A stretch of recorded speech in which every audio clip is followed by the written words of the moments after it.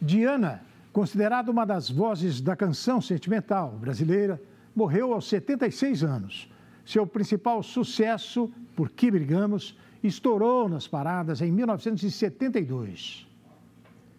Reconhecida como uma das grandes vozes da canção sentimental brasileira, a cantora Diana morreu nesta quarta-feira aos 76 anos.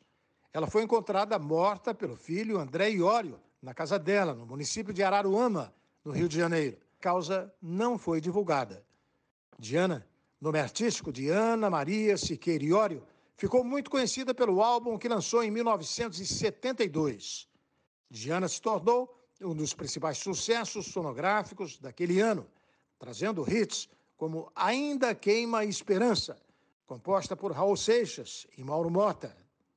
Quanto tempo vou viver sem esquecer o seu amor?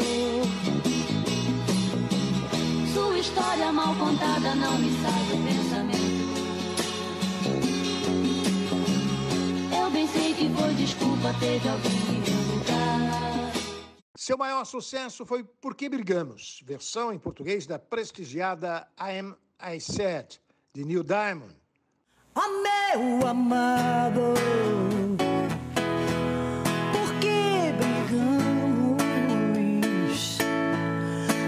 posso mais viver assim, sempre chorando. A minha paz estou perdendo. A nossa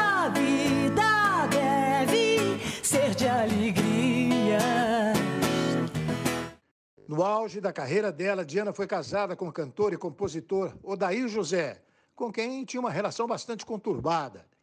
Diana foi velada e sepultada nesta quinta-feira, na cidade natal dela, em cerimônia reservada. O laudo do Instituto Médico Legal concluiu que intoxicação por cocaína e traumatismo craniano causaram a morte do cantor Naim.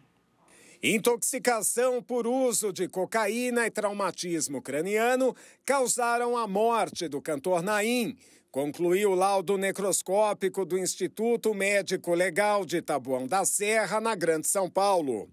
O artista que fez sucesso nos anos 80 cantando músicas populares foi encontrado morto, caído no chão de sua casa em 13 de junho. De acordo com o documento da Superintendência da Polícia Técnica Científica, a causa da morte de Naim ocorreu por intoxicação exógena ocasionada pelo agente químico cocaína e pelo traumatismo crânioencefálico. Segundo a perícia, Naim pode ter perdido a consciência ou até mesmo ter tido uma morte súbita por causa da droga sofrendo por um desses motivos a queda que resultou no traumatismo craniano. Ainda de acordo com os peritos, não se pode excluir a fratura no crânio como causa direta da morte do artista ou que o ferimento possa ter contribuído para isso. Segundo o ML, o exame toxicológico também encontrou remédios sedativos no organismo de Naim mas eles não teriam efeito direto na sua morte. Não há indícios de que a morte do cantor tenha sido criminosa. Sindicalistas entraram em confronto com a Polícia Militar nesta quinta-feira na sede de um banco na Zona Sul de São Paulo. Durante uma manifestação sindical na sede do Banco Santander, na Vila Olímpia, sindicalistas e policiais militares se envolveram numa grande confusão. Os bancários protestavam contra a terceirização de serviços na instituição financeira. O caso ocorreu durante o Dia Nacional de Luta contra a Terceirização, na manhã desta quinta-feira. A atividade integra a Campanha Nacional dos Bancários 2024 para cobrar dos bancos, além do fim da intermediação de mão de obra, a apresentação de uma proposta decente na mesa com a FENABAN, a preservação dos empregos bancários, melhores condições de trabalho e o fim do adoecimento causado pela imposição de metas abusivas. Segundo o sindicato, a violência policial resultou em trabalhadores agredidos, inclusive mulheres. Enquanto isso, o Banco Espanhol não enviou nenhum representante para intermediar o conflito. Um boi foi morto a tiros após avançar contra policiais militares na Grande São Paulo. Um boi foi baleado e morto por um policial militar em uma rua de Mauá, na Grande São Paulo. De acordo com a Secretaria da Segurança Pública, a ação foi tomada devido à agressividade do animal, que anteriormente havia atacado um homem de 59 anos e representava risco, inclusive, contra os próprios policiais chamados para atender a ocorrência. Um vídeo mostra quando o animal ataca um homem caído no chão. Policiais militares acompanham a cena de longe, ao lado de uma viatura. Pouco tempo depois, o boi avança na direção de um PM, que atira. O homem atacado pelo animal foi levado até um hospital e depois liberado. A justiça marcou para outubro o julgamento de Paulo Cupertino pela morte do ator Rafael Miguel, que tinha apenas 22 anos de idade. A Justiça de São Paulo marcou para as 13 horas do dia 10 de outubro o júri popular que irá julgar Paulo Cupertino Matias pela morte do ator Rafael Miguel, de 22 anos, e os pais dele. O comerciante está preso desde maio do ano passado, depois de quase três anos foragido. Cupertino foi denunciado pelo Ministério Público de São Paulo por homicídio doloso duplamente qualificado, cometido sem chance de defesa das vítimas e por motivo fútil. De acordo com o MP, ele matou Rafael Miguel e os pais do jovem porque não aceitava o namoro de sua filha, à época com 18 anos, com um artista. O crime aconteceu em 2019. Rafael e seus pais foram mortos por Cupertino, que armou uma emboscada para atingi-los. Uma professora foi feita refém por um aluno armado com uma faca no Distrito Federal. Uma professora foi feita refém em uma escola pública de Planaltina, no Distrito Federal, no começo da tarde desta quarta-feira. A Secretaria de Educação confirmou a ocorrência e disse que a Polícia Militar e a Polícia Civil foram chamadas por volta das 13 horas à classe 16 para negociar com o suspeito. O agressor é um estudante de 16 anos. Ele entrou na escola com duas facas e rendeu a professora. Depois de cerca de uma hora e meia de negociações, a professora foi liberada. O adolescente foi apreendido e levado para a Delegacia da Infância e da Adolescência da Asa Norte, conforme a Secretaria de Educação do Distrito Federal. O estudante frequentou apenas um dia de aula no turno diurno no primeiro semestre e, devido à sua idade, foi transferido para o período noturno, onde compareceu a dois dias de aula. Uma testemunha contou que o jovem entrou na escola pedindo dinheiro. A Secretaria de Educação diz que o adolescente aproveitou a entrada dos alunos do turno vespertino para acessar a unidade, que conta com vigilância ativa. A professora sofreu um corte superficial no rosto e está recebendo devido ao acompanhamento médico, segundo a secretaria. Uma usuária de droga totalmente alterada destruiu um carro na zona sul do Rio. O vídeo do ato de vandalismo circulou nesta quinta-feira em todas as redes sociais e portais do Rio de Janeiro. O caso aconteceu no bairro do Flamengo, zona sul da cidade. As imagens foram gravadas na noite desta quarta-feira. A mulher, completamente alterada e segurando uma sacola com conteúdo não identificado, se aproxima do automóvel, um Corsa sedã prata, imediatamente sobe em seu teto. Ela então começa a pular e dançar em cima do veículo, que sofre diversas avarias, incluindo o capô. A mulher também grita bastante, como se estivesse comemorando. Os moradores acionaram a polícia militar. Porém, quando os agentes chegaram, a mulher já havia sumido do local.